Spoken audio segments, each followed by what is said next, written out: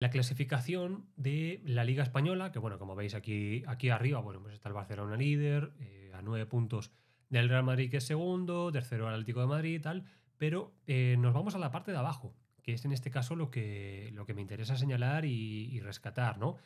Eh, veis que desde, exactamente desde el Celta de Vigo, que tiene 28, hasta el Valencia, que es el decimonoveno, que tiene 23, hay 5 puntos de la media tabla a la segunda plaza de descenso, ¿no? Eh, esta va a ser una carrera por el descenso, yo creo, de las más encarnizadas que, recordamos en los últimos años. Yo creo que eh, yo no recuerdo ninguna de este, de este calibre, pero no solo por, por recordar o por los puntos, sino porque fijaos los equipos que hay metidos. Es que está el Sevilla con 25 puntos y el Valencia con 23. Está el Almería con 25, que hasta hace poco estaba más o menos para salvarse y se ha metido en ese, en ese problema. El Getafe tiene los mismos 25 puntos. El Cádiz, que yo lo vi en el Trofeo Carranza a principio de temporada contra el Atlético de Madrid y dije, este es el peor equipo que hay en la, primera división y lo van a tener que hacer muy bien para salvarse. Bueno, pues ahora mismo son eh, decimoquintos, han ganado hace, hace una jornada, empataron la jornada pasada y ahí están. Eh, pero claro, ¿cuál es el punto que para mí es importantísimo dentro de todo esto? Eh, algo eh, que yo creo que a, los aficionados de clubes pequeños, e insisto, yo he sido abonado del Getafe, sé de lo que hablo y, hablo también por el que durante años fue, fue el club al que yo acudía cada, cada domingo. la liga no se puede permitir que desciendan el Valencia y el Sevilla. No se lo puede permitir. O sea, la, no solo la liga como, como competición, como los fichajes, no. Es que yo no sé qué pasaría para las economías del Sevilla y sobre todo del Valencia si terminan por descender. O sea, puede ser una catástrofe de unas condiciones absolutas. Evidentemente, yo no estoy diciendo que la liga haga nada para evitar que Valencia y Sevilla desciendan. Y si tienen que descender, que desciendan la competición lo marca. Pero que una clasificación de estas características yo creo que no se la imaginaba a nadie a principio de temporada. Que el Valencia tiene 23 puntos y el Sevilla 25 en la jornada 24, esto, la verdad, yo, eh, yo creo que no entraba en la cabeza de nadie.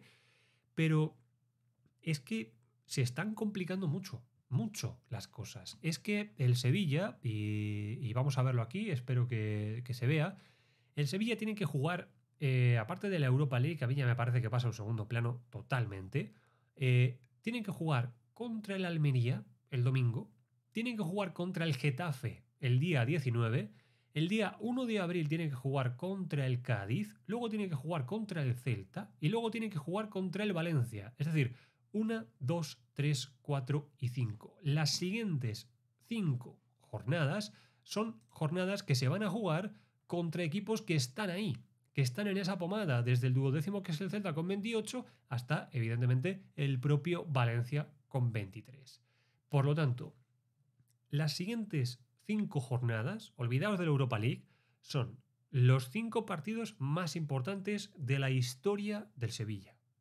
Es así, porque, bueno, tú puedes ganar las finales, la Europa League, meterte en Champions, lo que sea, pero descender a segunda división es una debacle económica de un nivel, vamos, bíblico, en un club que además está medio judicializado con el tema de Pepe Castro, con, eh, con Del Nido que quiere, quiere volver, en fin, con todo lo que ya eh, sabemos, ¿no? Y con respecto al Valencia, pues evidentemente yo creo que Peter Lim eh, está siendo la peste total de este equipo, está siendo yo creo la explicación total a que el Valencia esté rindiendo tan mal en liga eh, primero, por haber cesado la temporada pasada a un técnico como Bordalás, que hizo una buena temporada, que llevó al equipo a la final de, Copa, por haber conspirado contra él en Singapur y puesto a otro de sus esbirros, que es a, Gatuso, y haber puesto a los medios de comunicación a hablar tan bien del Valencia de Gatuso. Bueno, aquí tenemos al, al Valencia, ¿no?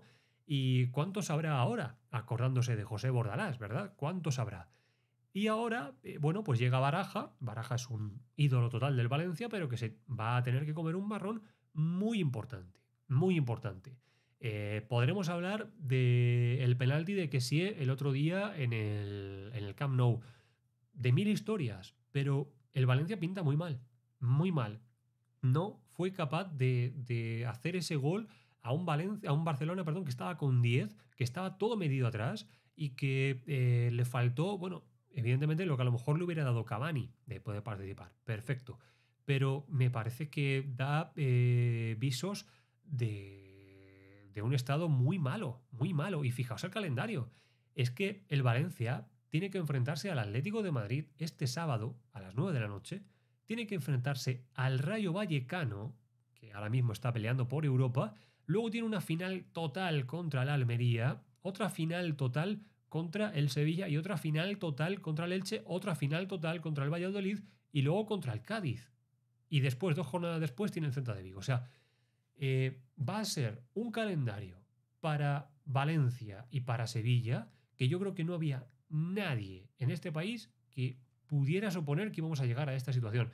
Y ojo con esto, ojo con esto, porque se puede dar que equipos más acostumbrados que el Valencia y que el Sevilla a pelear por este descenso terminen por prevalecer. Hay muchos jugadores, por ejemplo, en el Cádiz, que ya saben lo que es esto, y que, bueno, eh, han sobrevivido a varias. En cambio, estos, pues el Sevilla, el Valencia, sobre todo el Sevilla en este caso, no están acostumbrados.